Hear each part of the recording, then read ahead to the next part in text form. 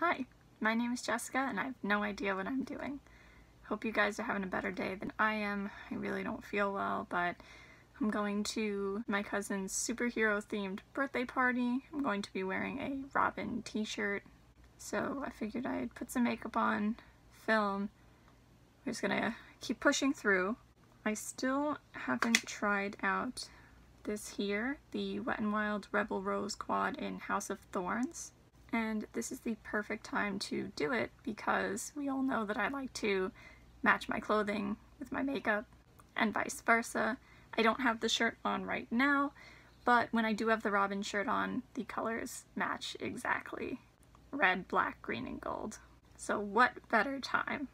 I am going to add in a setting shade though, so I'm going in with my dollar store brush into the Twilight Dusk Ucanbe palette and I'm going to use Royal as my setting shade because I know these Wet n Wild quads are very pigmented and I don't want the shadow to stick and not blend like it has in the past for me.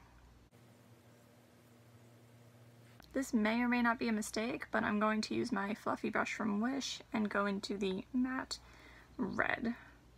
It's very dark red. Actually, not much is coming up on the brush. That might actually be a good thing. Let's see. The brush lied.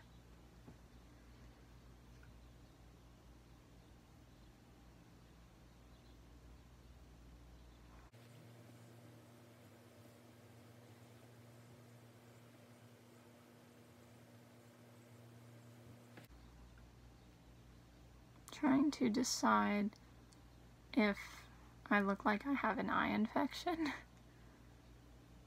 Honestly, the way to do it with like pink and red shadows sometimes is to go all out with them. Because sometimes when you have it light and faded, that's when you get like the irritated eye look. And when you really like go all out, it's very deliberate or rather it looks very deliberate. So then people know you're not infected, you just wanted to rock some pinker red eyeshadow. Now, there are not many eyeshadow colors that I'm afraid of. Black, however, I am definitely afraid of. I'm going to try to go into the black with my BH Cosmetics brush with a 3 on it. And now I definitely don't trust if it looks like nothing comes off the brush or onto the brush. I'm going to take my time with it. Just build it up slow. So the red is acting as my transition shade, and the black is acting as my crease shade.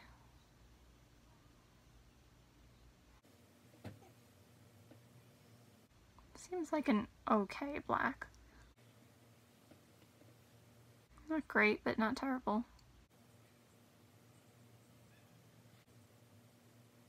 Next I'm going to try the gold. It's kind of like a dark gold, like a brown gold. Yeah. But that's going to go here on the, maybe the inner half of the lid, or inner two-thirds. I have a feeling these shimmers would look nice wet, but we all know that I'm not gonna wet them. yeah, I do wish this was a little more gold, at least brighter or lighter. Does seem to be a nice eyeshadow though. Now I'm going in with the green on my pinky. It's a little chunky. That's why I stopped. Um, it's glitter in it. I'm just hoping that it will actually come off green and not black. It's gonna go on my outer third. Yeah.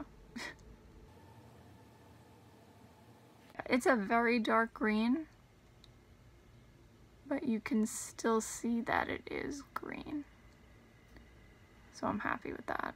I'm to put a little more of the bronze-ish color just to blend the two together. Again, I wonder what this would look like wet. But again, I don't wonder so much that I'm to actually do it. Feel free to try it at home. There's definitely fallout from the green, but it's brushing away no problem. Maybe one day I will stay in frame.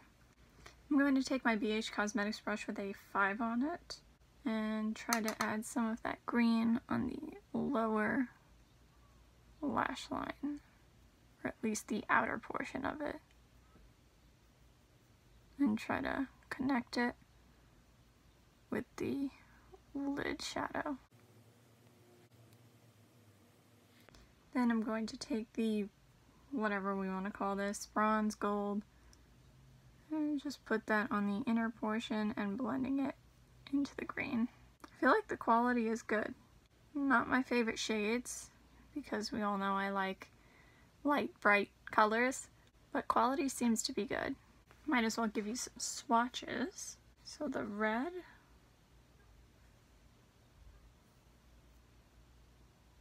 It's not a good swatch. I feel like that one is kind of hard and dry, yet it did work for me. The gold next. The green. And the black.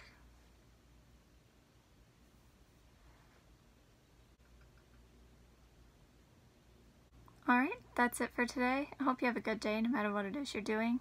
Bye. See you next time.